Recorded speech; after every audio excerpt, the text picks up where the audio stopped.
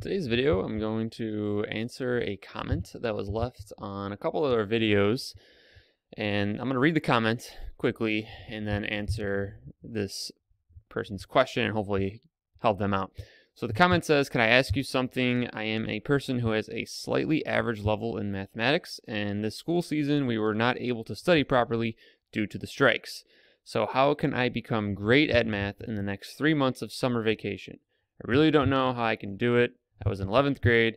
I have a national exam in maths next year. So I felt I answered, I asked a follow up question to the comment just to get a little bit more clarity regarding some sort of background, and hopefully I can answer their, their question. So they responded with, uh, they're, they're, these are the lessons that we did this year. In another video, they responded, and we did half of them because of the strikes and then they list a whole bunch of lessons and they say that uh, they learn things in uh, math and french because they live in this person's from morocco. Not sure if morocco speaks french uh, mostly but he the person said that uh, everything was translated from french. So here's my answer to that question. First of all thank you for leaving the comments and asking that kind of question. It's a really good question my first comment I want to make about that is you want to figure out if there is a way what exactly is on that exam that you're going to take. So you have three months of prep for some exam. Hopefully, there is some way that you can gather just a little bit of an edge going into that exam, whether it's just does the exam cover algebra, statistics, geometry, trig? Is there trig on it? Because here in the US, uh, we take the SAT and the ACT after 11th grade or at the end of 11th grade. And the ACT, I think, doesn't cover trig, but the SAT does. I'm not sure which one, but I, it's like not even the same content. Some schools do the ACT, some schools do the SAT. So it kind of depends on where you live. So if you can figure out some way of what you need to know precisely, that would be a huge leg up from where just going in completely blind. So if you have some sort of access to some sort of database of knowing these topics, not even just like know this specific topic within algebra, just algebra, statistics, like that kind of knowledge. Second, you have three months of time. What does that three months look like in your personal life? Are you working? Uh, do you have friends that you want to see? Do you have activities that you're in? Because being in 11th grade summer, like I don't know if you're going to have complete three months of available time to just study math. And I'm not saying that I would even do that. If you if you had nothing going on, you had no job, you had nothing to do, all you could do is math. Like I wouldn't even recommend just sitting around doing math all day. Then like that's not good because uh, that's that's just a lot. You want to get out, exercise, run, walk, go see friends, go to the movies, do things that get your mind off of math just if it's a couple hours a day. Like you don't want to just sit inside morning till night just doing math just to prepare for this exam that's coming up in the fall. Um, and and knowing your schedule especially like so if you have a job when i was in high school a lot of my friends we worked 30 40 hour weeks in the summer just because it was a good opportunity to make extra money. Remember i had a job where i worked 30 to 32 hours a week just because i think 32 was the cutoff from not considering me full time so they didn't have to give me benefits just give me you know pay me for my time. Uh, so i know i worked like a pretty heavy summer schedule along with training for cross country along with you know other things. So know your schedule. Like what does three months actually look like do you have availability every morning, every evening, in the middle of the day? So set your schedule and just say like every morning, 6:30, I'm gonna wake up two hours. Every afternoon, two hours. Evening, two hours. Whatever that schedule looks like.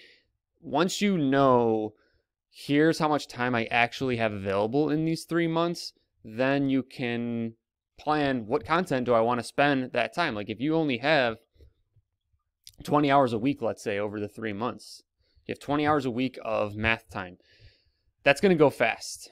Uh, so you got to figure out like how much time do you actually have to spend on math and what does that look like daily that's really going to be it keeps you accountable also it, it, it, really keeps you motivated to say i just got i don't feel like doing this today but i just got to do two hours from 6 to 8 a.m or 8 to 10 a.m just gonna do two hours take a break do something else and then come back Next, so uh, you got your schedule, you figured out how much time you actually have, you have X amount of hours over the summer. Next is figuring out how do you want to spend that time. So you sent me a list of topics that you covered or half of the stuff that you covered. Like it was some pretty heavy topics. There's a lot on there. There's a lot of algebra, some statistics, some trig, some geometry. So that's good, just general knowledge. And that's typically in the US, that's how high school looks. It's algebra one, two, and then geometry. Pretty much based on what state you live in and just how the high school runs. Like they call it different things like math one, math two, math three, but it's all just covering algebra, geometry, algebra two, and then some even cover a little bit of statistics to prepare for that SAT, ACT. So know what do you know, what don't you know? That's another huge piece of preparing for an exam like this of your algebra skills are really, really strong. Like, okay, good. How strong? That's where you got to figure out like how strong are your algebra skills or do you know any geometry at all? So I have a couple books pulled off my bookshelf here that I want to show you. But before I do that, I just want to emphasize again, you want to know how strong are your skills. So I have my first book here is a uh, beginning and intermediate algebra book um, by Elayn Martin-Gay. Uh, I use this book in my classes. I've used it at multiple different colleges. This is a very popular book. This author writes a lot of different math books. This isn't something that I would use as like this will prepare me for this exam coming up in the fall. This is a good book to just develop a strong foundation for algebra. It has solving equations, systems of equations, factoring, rational expressions, rational equations, uh, logs, imaginary numbers. Like everything that you need to be successful in algebra is in this book.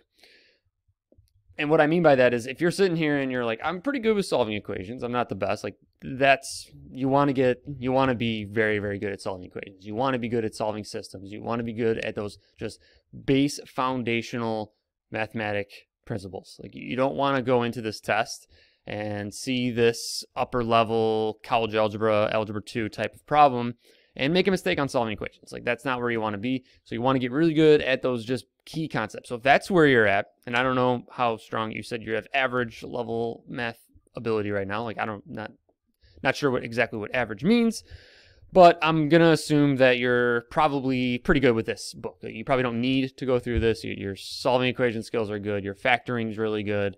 If they're not, then I would start here. I would just start cranking through a book like this. This is just called Intermediate Algebra. You can buy any algebra book, really. This is just the one I recommend because I've used it so for so many years. Very long time at this point. Just find a very cheap old edition. Like this is the newest edition, seventh edition. Like you could find just an old cheap one. Uh, and doesn't even have to be this book. But this is like to get really, really good at just really foundational skills. So now let's let's pretend like, all right, yeah, I, I know how to factor, I know how to solve equations, like that's not a problem. Then the next book I would recommend is College Algebra by Blitzer. Um, I also have a College Algebra by Sullivan textbook also. That's another really good one. So this college algebra by Blitzer, this is a little bit higher than your algebra 2 class that you take in high school. So again, high school algebra 1, algebra 2. Algebra 2 you typically take like your junior year of high school before you take the SAT, ACT. It's, I think this book's like probably a little bit harder than what you need to know in algebra 2, but that's a good thing. That means that if you could do the harder, then you could definitely do algebra 2. And it's not like you necessarily have to master everything in this book or anything. Uh, just this is just a really good baseline of like, okay, this stuff is really important. This probably this book is a little bit harder than what I need to know, but if I know it, then that means I could do the algebra two. Um, so I would, if you're past that intermediate algebra book, like if you don't really need that, then I would spend a lot of time in this book. Like this is a really good book. It has everything that you would need to know in algebra pretty much going into this exam, at least for the fall. Like any sort of algebra problem that might come up on that exam is going to be here. Now, the problem though with just looking at college algebra over the next three months is your geometry, your statistics. Those are things that are not going to get very strong because you're spending a lot of time just focusing on college algebra. From my experiences, though, and things that I've seen, read, um, taking exams like that, a lot of the time, like a bulk of the exam will be algebra type of problems. And then there'll be like, if there's, let's say, 100 questions on an exam like that, there might be 60 questions on algebra and then like 20 on geometry or 10 on stats and just kind of broken up like that, where it's smaller chunks of the other topics. It's not necessarily evenly distributed amongst all topics. It'll be really, really heavy on algebra.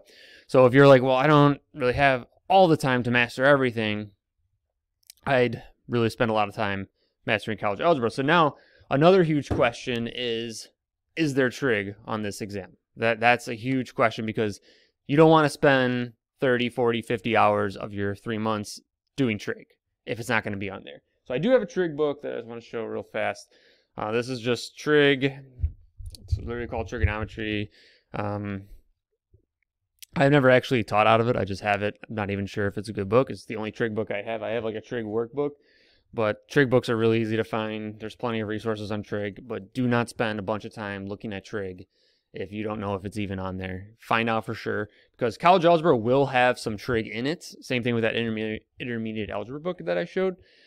It will have some trig, like just trig ratios, like that you might need to know. But when to get into the real deep trig, I don't know you'll have to figure that out for where you live and what that exam might look like. But that's a good starting spot. So the the gray area though is statistics. Like that's one thing that you might need to just buy some statistics books. I have a lot of statistics books, but I don't know if it's going to help what you need to know for your exam because um, sometimes statistics is just like looking at graphs and understanding what is this number saying, like what percentage, and just being able to extrapolate and understand what that generalizes to in the population, and just questions like that. Like not really necessarily like can you calculate standard deviation? It's mostly just do you understand statistical terms? Like can you do stuff like that? So that's something you might want to look into too. That's another thing along with trig. I wouldn't spend a lot of time doing that. I'd spend most of my time in that college algebra book and just getting really good with everything that I can within that three months while also looking at geometry, looking at trig, looking at statistics, but really focusing on that college algebra book. And I think if you do that, I think you might be putting yourself in a pretty good position for success. So I hope this helps. If anyone watching this video has any sort of tips or comments or familiar with this exam in Morocco that this student is taking, leave a comment, give us some insight. Uh, but it's, I don't know anything about the exam, but if it's anything like the ACT, SAT, I think getting a strong Algebra 2 slash College Algebra Foundation will be a really good starting point. So hope this helps. Good luck.